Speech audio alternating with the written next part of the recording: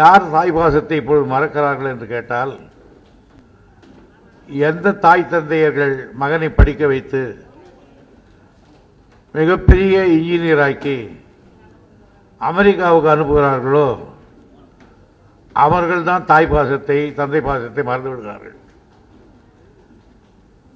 நான் இது எனக்கு லீவு கிடைக்கவில்லை என் மனைவிக்கு லீவு கிடைக்கவில்லை. நீங்கள் அந்த கிரியை நடத்திவிடுங்கள்.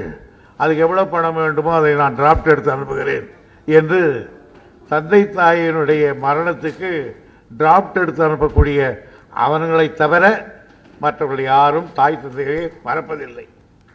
முற்றும் துறந்த முனிவர்களே மறக்கவில்லை. மிகப்பெரிய செல்வந்தர் சிவநேசன் செட்டியார். எல்லாத்தையும் திறந்துட்டு கோமணம் கட்டிட்டு போயிருந்தா அவதான் பட்டினத்தார்.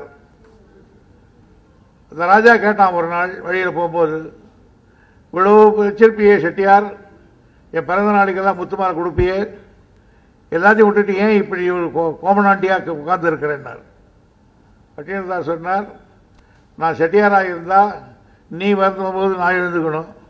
இப்போ நான் சன்னியாசியாக இருக்கிறதுனால நான் உட்காந்துக்கிறேன் நீ நிற்கிற இதாண்டா வித்தியாசம்னாரு.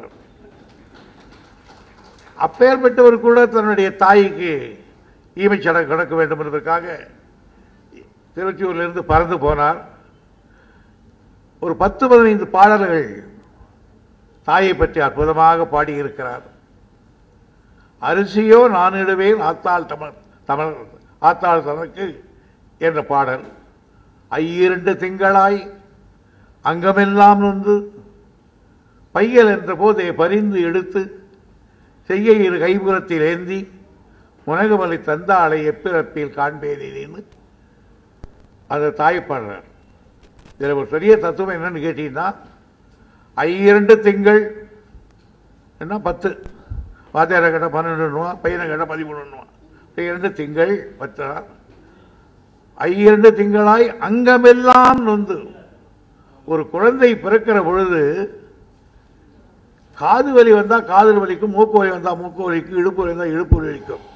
ஆனால் ஒரு தாய் குழந்தை பெறுகிற பொழுது எங்கெங்கு வலிக்கும்னு பட்டியத்தார் பாடுறார் அம்மாவுக்கு. அங்கமெல்லாம் நின்று. அது குழந்தை பெற்றவங்களுக்கு தான் தெரியும். ஆனால் இப்போ யாருக்கும் அது பிரச்சனை கிடையாது. மயக்கம் போட்டு கரெக்ட் கரெக்ட் கட்டி தச்சு வெளியே தூக்கி போட்டு ஆப்ரேஷன் பண்ணி எடுத்துடலாம். அங்கமெல்லாம் நோக்கிறது கிடையாது ஒன்றும் கிடையாது. ஆகையினால் அங்கமெல்லாம் வந்து பெற்ற தாயே சொல்கிறார் நானும் அழுவேன்னு சொல்கிறார் எப்படி உன்னை எரிவிப்பேன்? கத கதறி கதறி அழுதார். ஆக பெற்றெடுத்தவர்கள் கூட சன்னியாசியாக போறவர்கள் கூட தாய்ப்பாசம் அதே மாதிரி தான் காலனியிலிருந்து புறப்பட்ட அவர்கள் கூட அந்த ரிஷி ரிஷிகளோட தாய்ப்பாசம் இருக்கிற போது வருகை என்று சொல்லிவிட்டு போனார் ஆதிசங்கரர். அவரும் கரெக்டாக வந்து சேர்ந்தார் சொல்வார்கள். ஆக எது எப்படி இருந்தாலும் தாய்ப்பாசம் என்றால் அவர் தான் நமக்கு எல்லாத்தையும் கற்றுக் கொடுத்தவோம் அவ வயிற்றில் இருந்து பிறந்து வந்த உடனே அவ தான் சொல்றா அது தாய்ப்பாசம் மட்டும் நான் தான் உங்கள் அம்மான்னு சொல்கிறது இல்லை ஏன்னா அந்த குழந்தையை பால் கொடுக்கிற பொழுது அதுக்கு தாய்ப்பாசம் வந்தது. அவர் தான் சொல்கிறான் இவர் தான் உங்கள் அப்பா இவங்க பெரியப்பா உங்கள் சித்தப்பா குடும்பக்கார மாமியார் எல்லாம் கரெக்டாக சொல்லி கொடுத்துட்டு எல்லாம் சொல்லி கொடுக்குறான் அதுக்கப்புறம் அவனுக்கு குரு சொல் குரு இவர் சொல்கிறார் ஆகியனால உலகத்தை வாழ்க்கையை நம்ம அப்பா அம்மாவையே நமக்கு சொல்லி கொடுத்தவன் தாய் தான்.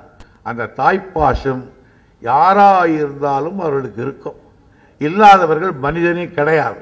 அந்த தாய்ப்பாசத்துக்கு இன்றைக்கு உருகி கொண்டிருக்கிற என் நண்பர் சம்பத் அவர்களுக்கு நானும் என்ன செய்வது? யார்- எல்லாருக்கும் ஒரு நாள் வந்துதான் தீரும். என்னுடைய தாய்க்கு ஒரு நாள் வந்தது உங்கள் தாய்க்கு ஒரு நாள் வந்திருக்கிறது மற்றவர்கள் தாய்க்கு ஒரு நாள் வரும். ஏன் நமக்கே ஒரு நாள் வரும்? ஆகையினால் நடந்தவைகள் நடந்தவைகளாக இருக்கட்டும் என்று மறந்து